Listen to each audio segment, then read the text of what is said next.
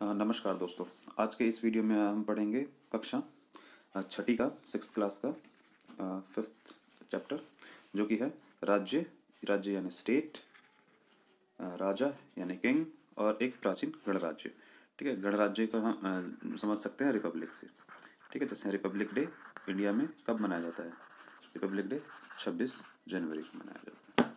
ठीक है तो उसी से हम समझ सकते हैं गणराज्य को तो सबसे पहले राज्य को। राज्य क्या होता है? यानी कि एक ऐसा भूभाग, यानी एक ऐसा क्षेत्र, जिसके चारों जिसके अपनी एक सीमा होती है, ठीक है? उसके अंदर एक राज्य का एक प्रमुख होता है, यानी जिसे हम आमतौर पर राजा कहते हैं। ठीक है? और उसके चार, उसके अंदर अपनी एक सेना होती है और उसके पास अपना एक संप्रभु क्षेत्र होता है। यानी कि जो क्षेत्र है, इसकी ये मान लीजिए अगर ये पूरा क्षेत्र है तो इसके अंदर के अंदर जो भी चीज़ें होंगी, वो राजा के द्वारा रिजवाई जाएँगी। ठीक है? जिस तरह की भी क्रियाकलाप होगी। और इसके अंदर एक सबसे बड़ा भाग होता है, वह नागरिक का यानी कि नागरिक उसको मान्यता देते हैं, उसके पास रहने वाले। जैसे भारत को भी हम एक राज्य मान सकते हैं।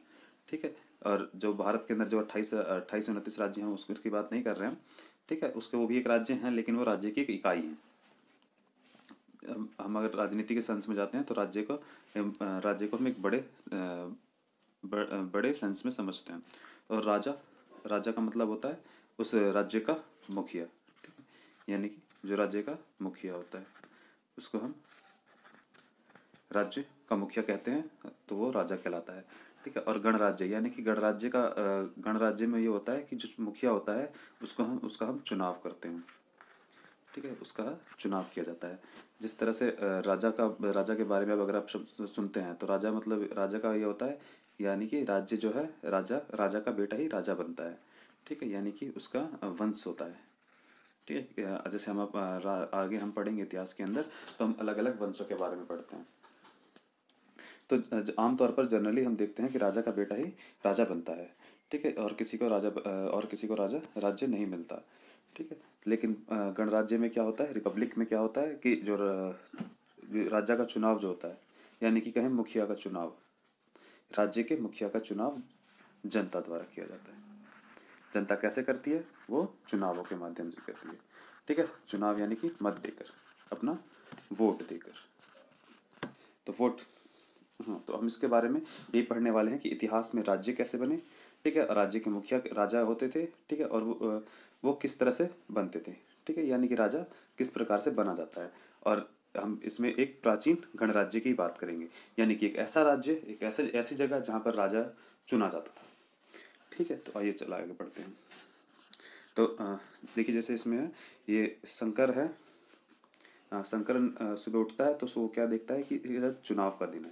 चुनाव का दिन यानी कि ऐसा दिन जिस दिन हम अपने वोट का प्रयोग करते हुए अपने प्रतिनिधियों को चुनते हैं। ठीक है? प्रतिनिधि। यानी कि जैसे हम किस किस के लिए वोट वोट होते हैं, इलेक्शन होते हैं? एमएलए के लिए, हमारे क्षेत्र में। यानी कि हमारे क्षेत्र का जो विधायक होता है, उसके लिए, एमपीज के लिए। एमपी यानी कि राष्ट्रीय स्तर पे। राज्य के स्तर पे, यानी कि हमारे छोटे स्तर पे हम देखें तो एमएलए के चुनाव होते हैं और बड़े स्तर पे देखें तो एमपी के लिए हम चुनाव करते हैं। साथ साथ हम निगम के भी चुनाव करते हैं। अगर हम दिल्ली में रहते हैं तो नगर निगम के चुनाव होते हैं। अगर हम गाँव में रहते हैं तो गाँव में आमतौर पर जो होते हैं वो पंचायत के चुनाव होते हैं। ठीक है? पंचायत के चुनाव के करवाए जाते हैं। तो संकरण जो है वो उसको पता चलता है कि उसके यहाँ पे इलेक्शन हो रहे हैं। ठीक है? चुनावी केंद्र पे अ, सबसे पहले पहुँचना चाहता है वो। तो मतलब इलेक्शन कहाँ होते हैं? चुनावी केंद्र जो एक होता है जहाँ पर जाके लोग अब वोट डा, वोट डालते हैं। अपने अपने घरों से निकल के इकट्ठा होते हैं और वहाँ पे अपना वोट देते हैं। ठीक है? तो उसके समझ में ये तो वही उसके जो दिमाग में प्रश्न उठता है कि पुराने समय में शासकों को कैसे चुने जाते रहे होंगे। ठीक है? तो हम इसी पे इसी चैप्टर में यही पढ़ने वाले हैं कि पुराने समय पे शासक कैसे बने या फिर कैसे चुने जाते थे लोग कैसे किस तरह प्रकार से चुने जाते थे। ठीक है तो कुछ लोग शासक कैसे बन गए होंगे?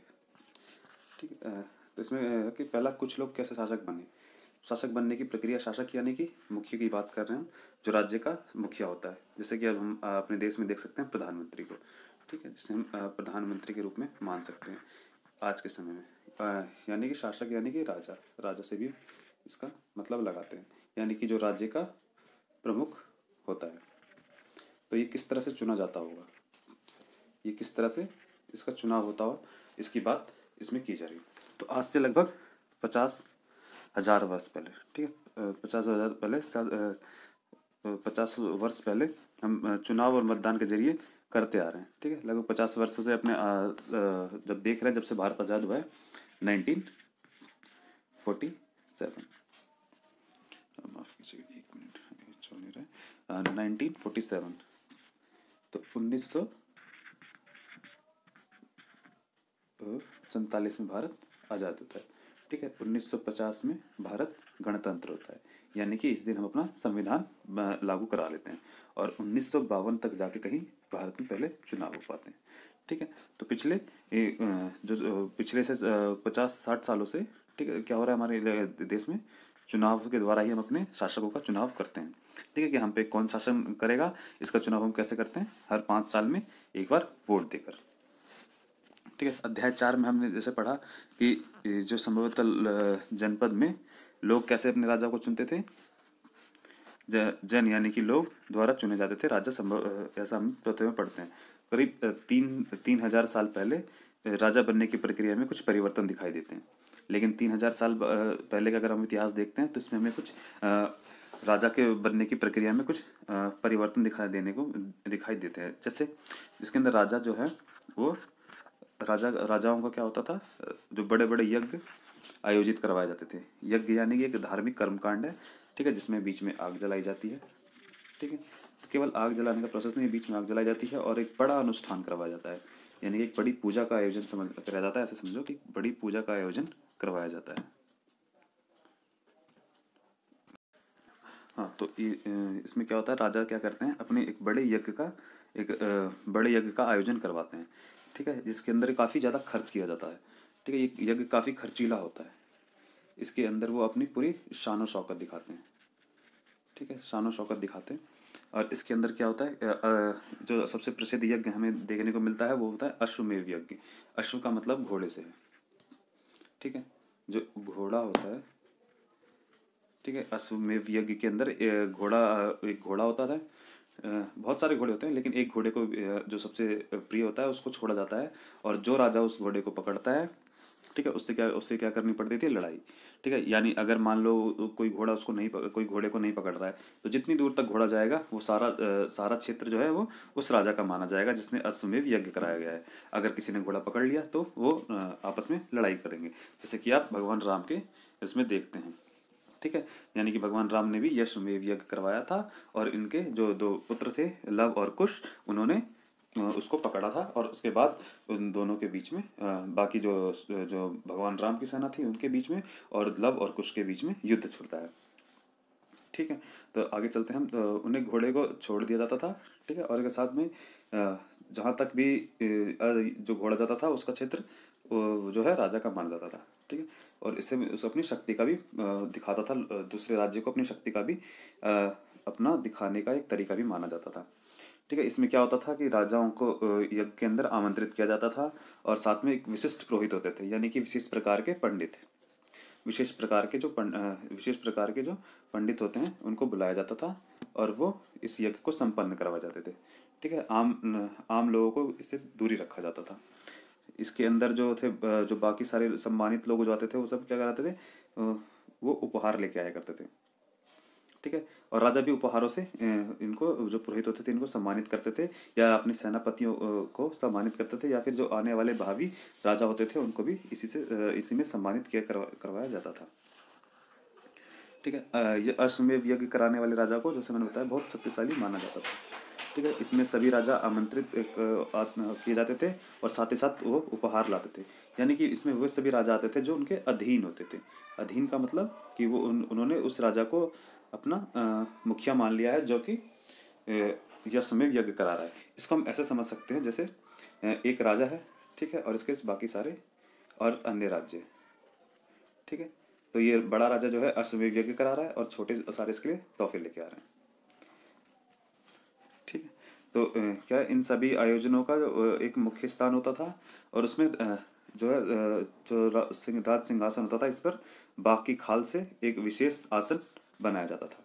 इसमें जो मुख्य राजा होता था, वो एक विशेष प्रकार की, यानी कि कहें, एक विशेष प्रकार की गद्दी पर बैठता था, जो कि बाघ की खाल से, यानी कि शेर जिस, जैसे हम जंगल के राजा शेर होता है, उस तरह कुछ दिखाने का प्रयास किया जाता था कि सबसे बलशाली जो है, वो मुख्य राजा है। युद्ध के क्षेत्र में भी राजा का सारथी और जो कि युद्ध के क्षेत्र में भी वो राजा का जैसे युद्ध अगर लड़ने जा रहा है राजा तो उस गद्दी के साथ ही जाता था। ठीक है? अश जो यज्ञ होते थे, वो एक राजा का जो राजा होता था उसके विजयों का गुणगान करने के लिए साथ में रहते थे। ठीक है? कुछ सहचर जो होते थे, जैसे वो क्या करते थे साथ साथ राजाओं के घूमते थे और उनका गुणगान करते थे। ठीक है? जैसे कि आप बहुत सारी कविताएँ पढ़ते होंगे। ठीक है? इन्हें हम राज कवि भी कह सकते हैं। ठीक है? यानी कि राजा के शय पर जो कवि होते थे और राजा के बारे में ही लिखा करते थे। ठीक है, आगे चलते हैं। इसमें राजा के जो सगे संबंधी होते थे, जो राजा के सगे संबंधी होते थे, खासकर उनकी रानियाँ। ठीक है? और उनके पुत्रों में और छोटे छोटे अनुष्ठान कर छोटे छोटे अनुष्ठान करने होते थे। अन्य सारे आमंत्रित राजाओं को काम सिर्फ़ बैठकर यज्ञ को, पूरी प्रक्रिया को देखना भर होता था। यानी कि जो अन्य राजा, यानी कि जो एक बड़ा राजा, उसके बाकी सारे छोटे राज्य जो उसके होते थे, अधीन राज्य, उन सबको बुलाया जाता था और वो सब क्या करते थे, केवल उपहार लाते थे और देखते थे। ठीक है? और राजा के ऊपर जो पुरोहित होते थे यानी कि जो पंडित होते थे वो क्या करते थे? जल का छिड़काव करते थे और साथ ही साथ अनुष्ठान अनुष्ठान यानी कि पूजा को कहते हैं। वो एक पूजा की प्रक्रिया होती है। तो पूरी पूरा जो आयोजन कराया जाता है उसके जो देखने वाला होता है वो पुरोहित होता है और उसके अंदर जो मंत्र वगैरह पढ़ने का काम करते थे वो पुरोहित ही करते थे। और जो विश्व यानी कि जो वैश्य समाज से लोग आते हैं जो व्यापार करते थे वो क्या करते थे? उस, उस सामान्य लोग होते थे तो उन्हें उपहार ला वो उपहार लाते थे राजा के लिए। और जिन्हें पुरोहित के द्वारा शूद्र मानते थे उनको अनुष्ठानों में शामिल नहीं किया जाता था। ठीक है? जो जिनको माना जाता था कि ये नीचे नीचे वाले लोग हैं, ठीक है, या फिर ये अछूत लोग हैं तो इनको इसमें शामिल नहीं कराया जाता था। शामिल नहीं होने दिया जाता था यज्ञ के अंदर। ठीक है? तो आइए हम इसके बाद, इसको लेते ही आगे थोड़ा समझते हैं कि वर्ण व्यवस्था क्या है। ठीक है? ये वर्ण क्या होता है? हम खासकर ये उत्तर भारत में ज़्यादा देखेंगे। ठीक है? और वो भी खासकर वह कौन सा क्षेत्र है जो गंगा यमुना का वाला क्षेत्र है। ठीक है? जो हम यूपी जिसको हम ले सकते हैं यूपी वाला क्षेत्र, ठीक है? और उत्तराखंड वाला, जहाँ से गंगा निकल रही है, और दिल्ली वाला क्षेत्र जो है हमारा, ठीक है? और साथ ही साथ हरियाणा, ठीक है? हरियाणा का बहुत सारा भाग, और साथ ही साथ बिहार वाला भाग, ठीक है? तो इसके अंदर क्या देखते हैं हम कि इसके आसपास ही कई ग्रंथ रचे गए। ठीक है, सबसे पहले जो ग्रंथ रचा गया वो ऋग्वेद है। ठीक है, हमारे पास वेद कितने हैं? हमारे पास चार प्रकार के वेद हैं। ठीक है तो सबसे पहला वेद जो था वो ऋग्वेद था। ठीक है, ऋग्वेद है, उसके बाद उत्तर वैदिक काल के अंदर। ठीक है, वैदिक काल के अंदर केवल एक ग्रंथ आता है वह ऋग्वेद, और उत्तर वैदिक काल के अंदर तीन ग्रंथ आते हैं, जिसे हम जानते हैं, सामवेद, यजुर्वेद और अर्थवेद के नाम से। और इसके साथ साथ अन्य ग्रंथ भी आए। ठीक है, जो कि पुरोहितों द्वारा रचित विभिन्न प्रकार के अनुष्ठानों को संपादन की विधियाँ बताई गई है। यानी कि जो किस प्रकार से अनुष्ठान, किस प्रकार से पूजा पद्धति कही जानी है, उसके बारे में बताया गया और साथ साथ इसमें कुछ सामाजिक नियमों के बारे में बताया गया यानी कि जैसे पंडित, ठीक है, जैसे कि ब्राह्मण, सॉरी, ब्राह्मण कहना सही होगा, ब्राह्मण, ठीक है, जिन्हें पंडित के नाम जानते हैं। फिर उसके बाद आए क्षत्रिय, ठीक है, जिनका काम था रक्षा करना। फिर शूद्र सॉरी इसके बाद आते हैं वैश्य फिर इसके बाद आते हैं शूद्र। ठीक है? तो जैसा आप समझ रहे हैं जैसा होता है कि बाकी लोग होते हैं, वो सर्वश्रेष्ठ जो है, वो पंडित पंडितों को माना जाता था, यानी कि ब्राह्मणों को माना जाता था।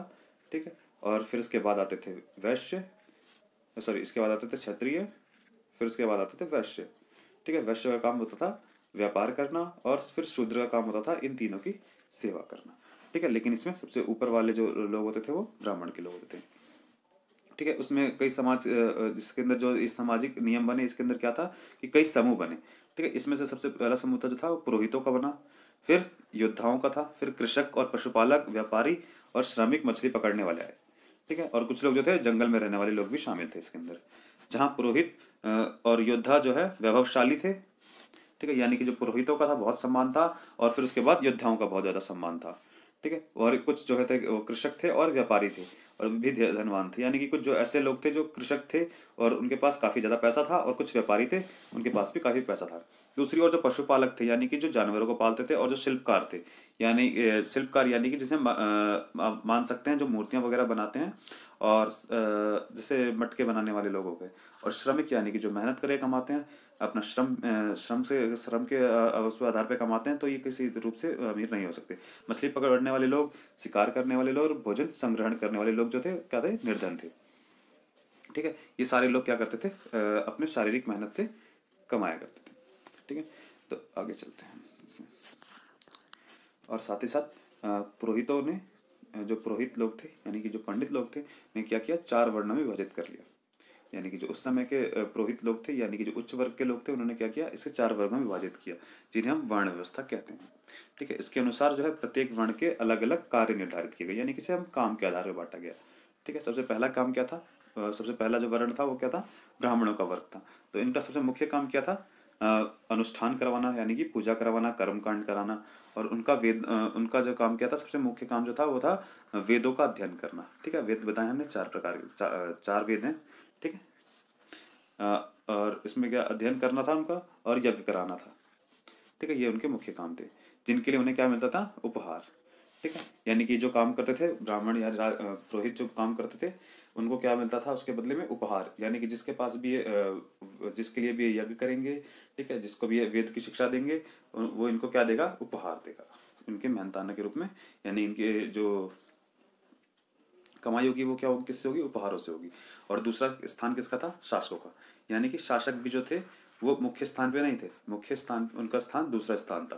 ठीक है, पहला स्थान यहाँ पर ब्राह्मणों का मानते यानी कि जो कानून बनाया करते थे। तो शासक का काम होता है कानून को लागू करवाना इसमें। ठीक है, जिन्हें हम क्या कहते थे? शासकों को क्षत्रिय कहा करते थे।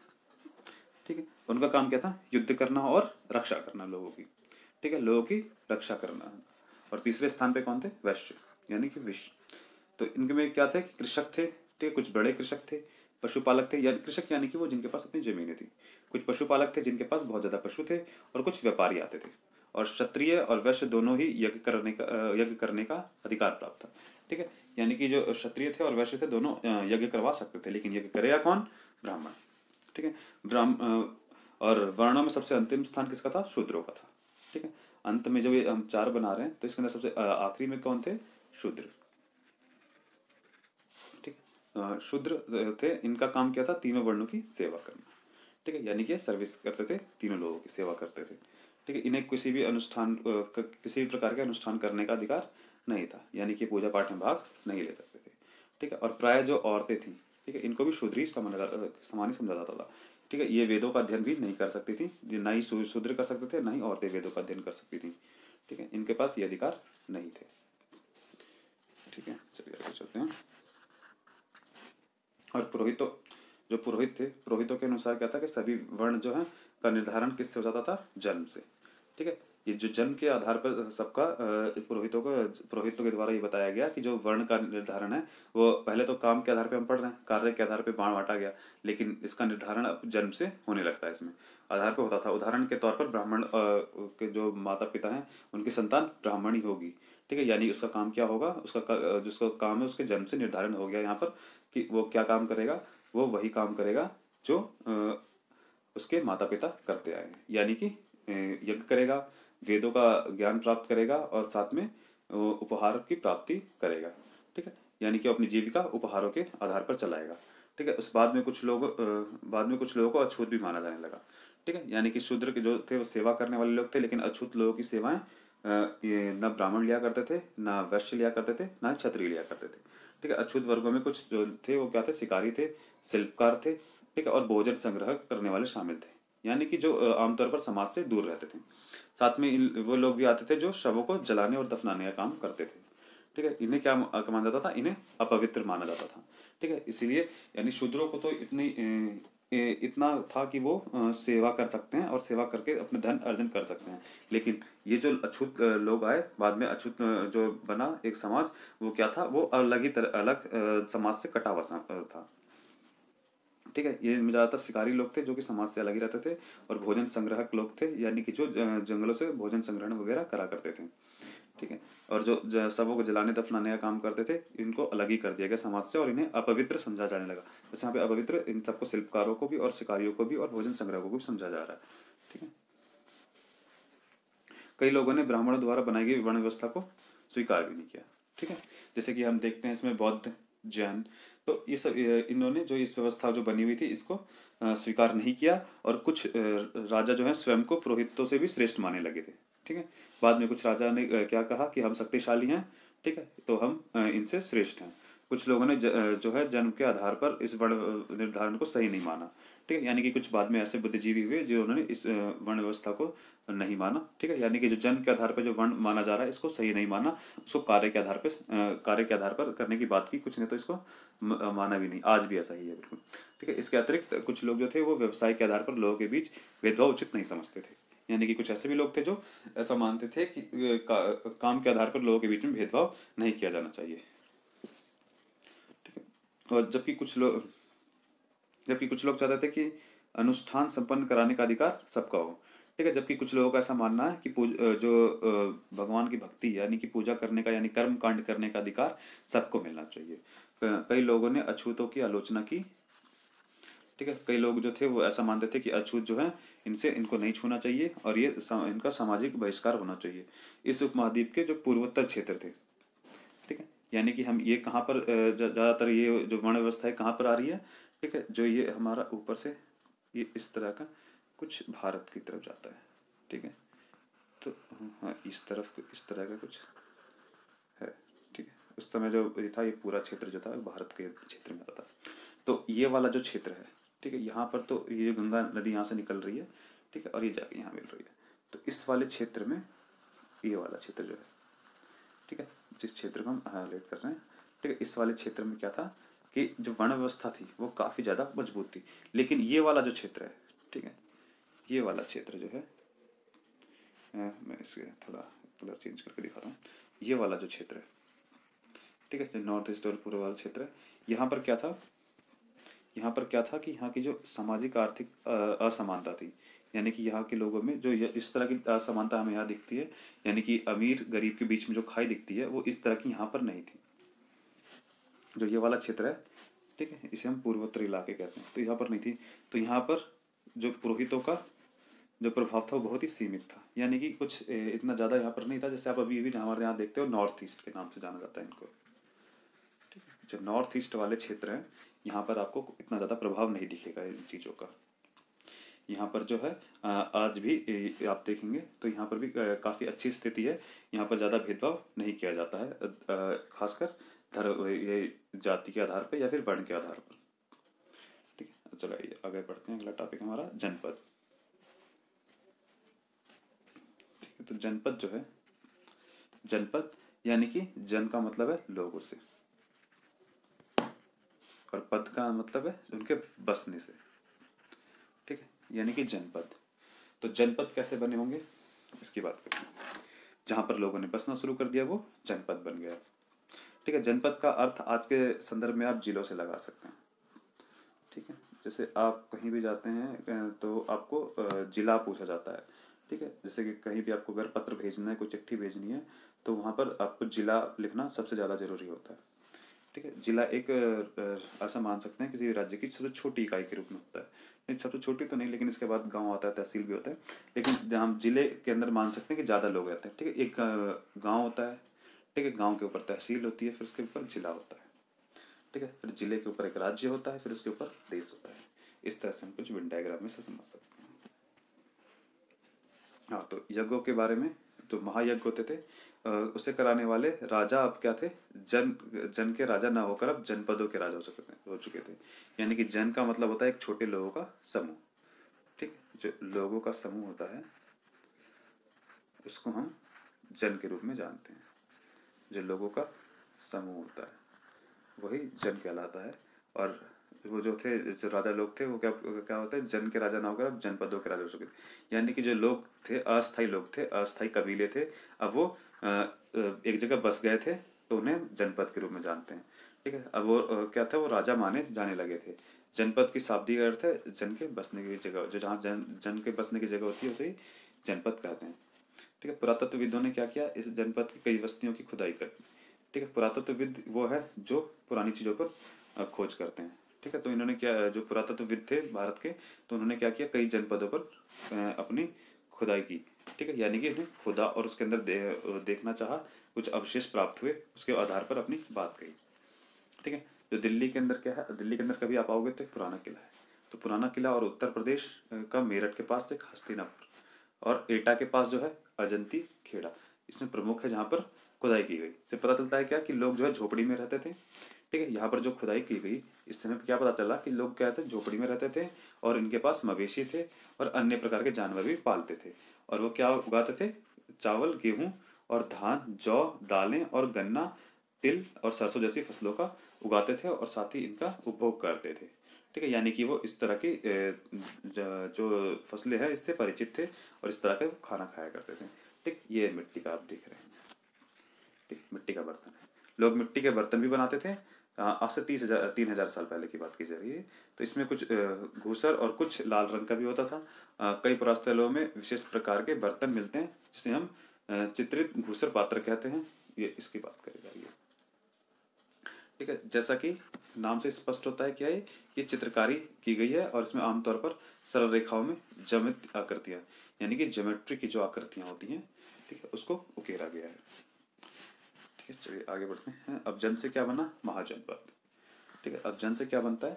महाजनपद ठीक है, यानी कि जन लोगों का समूह, ठीक है, कुछ लोगों का समूह महाजनपद यानी कि बड़े लोगों का समूह। ठीक है, यानी कि हम अगर हम समझते हैं, एक छोटा जिला होता है, ठीक है, लेकिन एक बड़ा जिला होता है।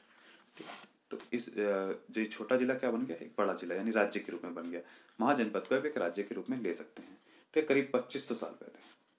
कुछ जनपद जो है, अधिक महत्वपूर्ण हो गए। ठीक है, यानी कि कुछ जनपद जो है, अब जब शासक आ गए ठीक है, जब लोग एक जगह रहने लग गए तो क्या होगा कि कुछ लोग बहुत ज़्यादा अमीर हो जाएँगे और साथ ही कुछ लोग बहुत ज़्यादा ताकतवर भी हो जाएँगे। ठीक है तो इन्हें क्या कहा जाने लगा? जहाँ पर ज़्यादा लोग होने जाने लगे, वो क्या हो गया? महाजनपद कहा जाने लगा। ठीक है तो महाजनपद कहा जाने लग गया। और इसमें अधिकतर जो महाजनपद महाजनपदों की एक राजधानी भी होने लग गई। यानी कि वो एक राजधानी मतलब एक ऐसी जगह होने लग गई जहाँ पर ज़्यादा लोग रहते थे और वहाँ से पूरे महाजनपद को कंट्रोल किया जाता था। यानी कि वहाँ से उसको नियंत्रित किया जाता था। इसमें कई राजधानियाँ जो ऐसी भी थी, यानी कि एक एक महाजनपद की एक से अधिक भी राजधानी हो सकती थी। यानी जहाँ पर ज़्यादा लोग रहते थे और जहाँ से राज्य, जहाँ से पूरे महा जनपद को कंट्रोल करना आसान होता था, उसी को राजधानी घोषित कर दिया जाता था। ठीक है।